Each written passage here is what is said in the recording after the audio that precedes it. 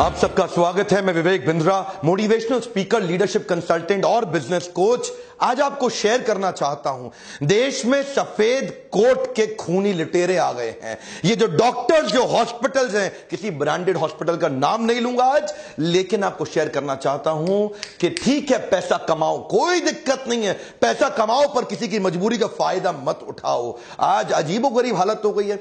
मैं basic fundamental बात करना चाहता हूँ। मैं बिज़नेस कोच हूँ। बात बिज़नेस की करूँगा। हमारे देश के डॉक्टर को पैसा कमाने का अधिकार है, लेकिन इनको ना पैसा कमाना आता नहीं है। इनको यह नहीं पता कि बिज़नेस वॉल्यूम बढ़ा के स्केलेबल मॉडल बिल्ड करके बहुत पैसा आराम से ज़िम्मेदारी के साथ एथिकली कमाया जा सकता है। इनको क्या है? इनको तो पैथोलॉजिकल लैब से भी पैसा चाहिए। इनको तो एंबुलेंस से रेफरेंस का पेशेंट उससे भी पैसा चाहिए। क्या बोलते हैं ना एंबुलेंस वाले को पेशेंट मेरे पास भेज दियो। इस चक्कर में कई पेशेंट वैसे ही मर जाते हैं एंबुलेंस वाले को कमीशन मिलती है, वो गलत डॉक्टर के पास ले जाता है। इनको केमिस्ट से भी पैसा चाहिए। ये तो फार्मा कंपनी को भी काटते हैं। बोलता है मेरी बेटी और उसके दोस्तों को न्यूयॉर्क भी जाना है न्यू जर्सी भी जाना है न्यूजीलैंड भी जाना है, वापस न्यू दिल्ली आना है। जरा खर्चा संभाल लेना। मेरे को इवेंट करना है, खर्चा संभाल। इतना पैसा ले लेते हैं ये फार्मा कंपनी से। देखे ना, इनको हर जगह से पैसा चाहिए, इनको हॉस्पिटल से भी चाहिए, इनको पेशेंट से भी चाहिए। मैं मानता हूँ पैसा कमाओ। लेकिन पैसा कमाओ पर मजबूरी का फ़ायदा मत उठाओ।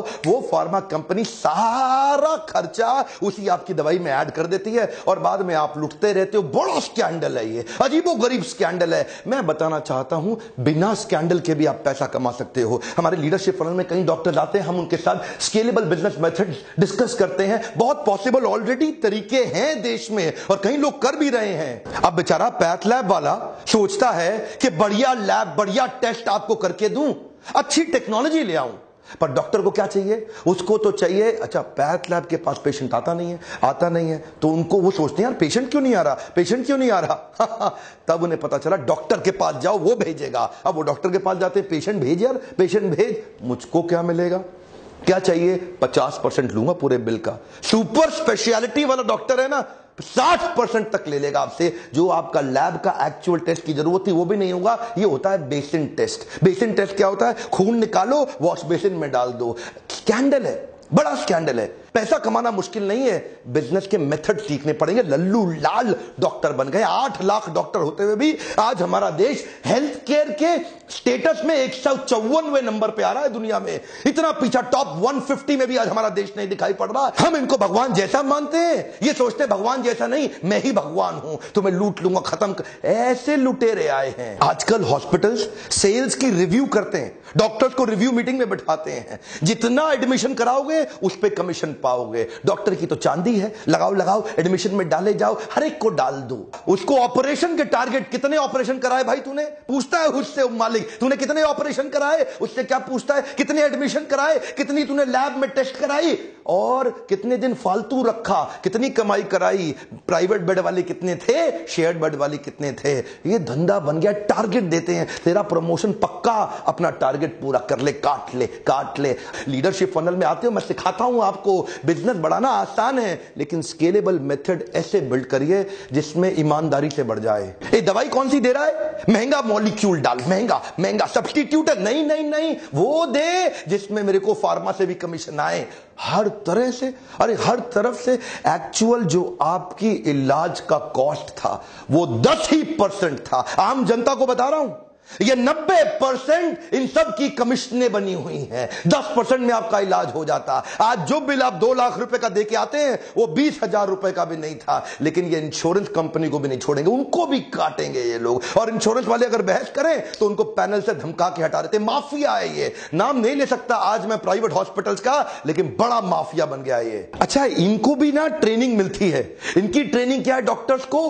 थोड़ा पेशेंट को डरा दो पहले। ज़बरदस्ती मत करो। थोड़ा पहले पेशेंट को डरा दो। एक बार डरा दो, फिर देगा आपको पैसा। उसको ज़िंदगी, रिश्ते, अपने माता पिता प्यारे, जो मर्ज़ी ले लो। ज़बरदस्ती मत बोलो। पहले थोड़ा डराओ पेशेंट को। हल्का सा धमकाओ पेशेंट को कि तू तो बड़ा नुकसान होने वो अच्छा डॉक्टर साहब, जो कहते हो कर लो डॉक्टर साहब। आज ये एक झटके में ज़िंदगी भर की सेविंग भी खा जाते हैं आपकी। शर्म नहीं आती इनको। आपको पता है 2010 से पहले हमारे देश में एक गर्भवती माँ के केवल साढ़े आठ परसेंट गर्भवती माओ के सिजेरियन हो रहे थे। आज आज तो क्या कहते हैं? रिस्क है जी, बड़ा रिस्क है। एक्चुअली सिजेरियन की प्रैक्टिस आई थी कि जब लाइफ एंड डेथ का मामला हो जाए, तब करना है। पर यहाँ पे शहरों में 40 परसेंट सिजेरियन हो रहे हैं। डॉक्टर कोई ना कोई तरीका निकाल टारगेट दे दिए ना। डॉक्टर वो लोग कह रहे हैं कि जब तक नॉर्मल डिलीवरी हो नहीं जाती, वो लोग वेट करेंगे।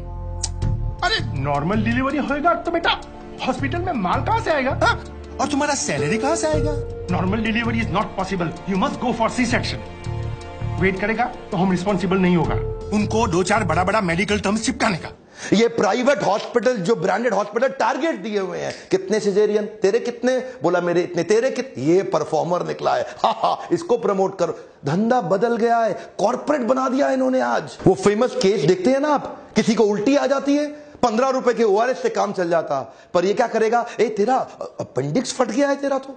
तेरे तो अपेंडिक्स फट गया है। अब क्या होगा? कुछ नहीं छोटा सा ऑपरेशन है। बस डेढ़ लाख रुपए का बिल एक चीरा लगाया और चीरा बंद किया। हो गया खत्म काम। एक्चुअली मैं केवल नेगेटिव बात नहीं करूँगा। देवी प्रसाद शेट्टी के बारे में पूरा देश जानता है। पद्मश्री के बाद पद्म भूषण भी मिला इनको। तेईस अस्पताल बना दिए इन्होंने। सात हार्ट सेंटर्स भी तैयार किए, ये इकोनॉमीज ऑफ़ स्केल पे काम करते हैं। करके दिखा रहे हैं पॉजिटिव केस स्टडी है। ये इकोनॉमीज ऑफ़ स्केल पे काम करते हैं। ये क्या कहते हैं? ये कहते हैं हेनरी फोर्ड उन्होंने पहली बार असेंबली लाइन बनाई, गाड़ी की। एक जगह पर खड़े होने की जगह असेंबली लाइन में आदमी आगे गाड़ी आगे बढ़ती रहती है। हर आदमी ऑपरेटर वर्कर अपना अपना चीज़ ऐड करता जाता है। कोई दरवाज़ा फिट करता है, कोई शीशा फिट करता है, कोई टायर फिट करता है, कोई मडगार्ड, सब अपना अपना काम कर रहे हैं ना। इन्होंने ऐसा ही किया। इन्होंने कहा कहा कि पहली बार असेंबली लाइन बना देंगे ओपन हार्ट सर्जरी के अंदर अलग अलग डॉक्टर्स को अलग तेज़ी से हाईएस्ट स्पीड पर रिकॉर्ड तोड़ तरीके से ये स्पीड से ऑपरेशन करते हैं। बोला, ज़्यादा ऑपरेशन कर दो कॉस्ट कम आ जाएगी। क्यों? पेशेंट को लूटते हो प्रॉफिट तो वैसे भी कमा लेंगे। पौने 200 करोड़ रुपए इन्होंने पिछले तीन साल में कमाए। एक बिलियन डॉलर का वैल्यूएशन हुआ इनके आईपीओ में। कोई भी मेडिकल हिस्ट्री के अंदर हमारे देश में इतने बड़े ऑपरेशन अरे कमाल हो गया भाई। इतनी स्पीड से कर रहे हैं क्या नोट नहीं छाप रहे छाप रहे हैं। लेकिन ईमानदारी से छाप रहे हैं। इनके अस्पताल में चौदह हज़ार वर्कर हो गए हैं। वॉल्यूम बढ़ाने पे फोकस किया। वैल्यू नहीं कमॉन वैल्यूएबल के पीछे नहीं भाग रहे वॉल्यूम बढ़ा दो।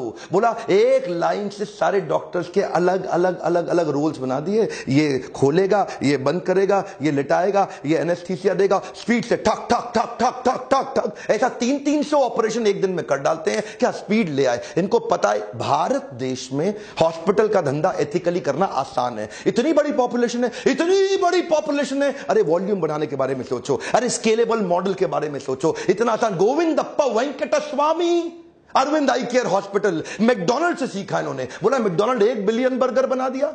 Our country is the capital of blind in the world सबसे ज़्यादा अंधे लोग हमारे देश में हैं। इन्होंने सस्ते ऑपरेशन जो 2000 डॉलर का ऑपरेशन अमेरिका में हो रहा है, बोला वॉल्यूम बढ़ाओ 10 डॉलर में कर देंगे। जहाँ बाकी डॉक्टर्स अपने पेशेंट्स के घर, बार, पैसा, सोना, ज़मीन सब लूट लेते हैं। ये गोविंद अप्पा वेंकट स्वामी ने अपने घर, ज़मीन और ज्वेलरी को गिरवी रख। के अरविंद आई केयर चालू किया है ना? आपके सामने एग्जाम्पल्स हैं। टाटा मेमोरियल हॉस्पिटल, ये भी तो एग्ज़ाम्पल है अपने सामने। ये लोग क्या करते हैं? ये दो सेक्शन में डिवाइड कर देते हैं। एक सेक्शन बहुत बड़ा रखते हैं ऑर्डिनरी केयर का, जो जनरल केयर है, जिसमें सबको सर्विस देते हैं लगभग फ्री में, और दूसरी तरफ़ थोड़ा सा प्रीमियम सेक्शन रखते हैं। लोगों से, जिनके पास पैसा है, उनसे चार्ज करो, और बाकियों की फ्री सेवा। टाटा मेमोरियल हॉस्पिटल ने कमाल कर दिया। जो कैंसर की दवाई एक लाख रुपए महीने की थी, टाटा मेमोरियल हॉस्पिटल ने वॉल्यूम बढ़ाने के चक्कर में उसकी तैयारी कर रहा है कि एक हज़ार रुपए महीने में एक लाख की कॉस्ट एक हज़ार रुपए महीना संभव है संभव है। सब कर सकते हैं, आप भी कर सकते हैं। इसीलिए मैं कह रहा हूँ कि बिज़नेस करना आसान है, लेकिन लोगों को समझ नहीं आता। ये लल्लू लाल सिंड्रोम है, एक बार में काट लो। मेरा आपको आज छोटा सा रिक्वेस्ट है, इस वीडियो को डाउनलोड करके आठ लाख डॉक्टर जो हमारे देश में है, हर एक तक पहुंचाइए, देश के हेल्थ मिनिस्टर तक पहुंचाइए, आवाज़ बुलंद करिए। अगर आप आवाज़ नहीं उठाएँगे आज मेरे साथ तो कल को आप भी विक्टिम बनेंगे, आपको भी लूटा जाएगा। सब्सक्राइब करिए ताकि ऐसे वीडियोस आपके पास सबसे पहले पहुँच सके। मेरे साथ जुड़े रहने के लिए, ऐसे वीडियो देखने के लिए आप सबका बहुत बहुत धन्यवाद।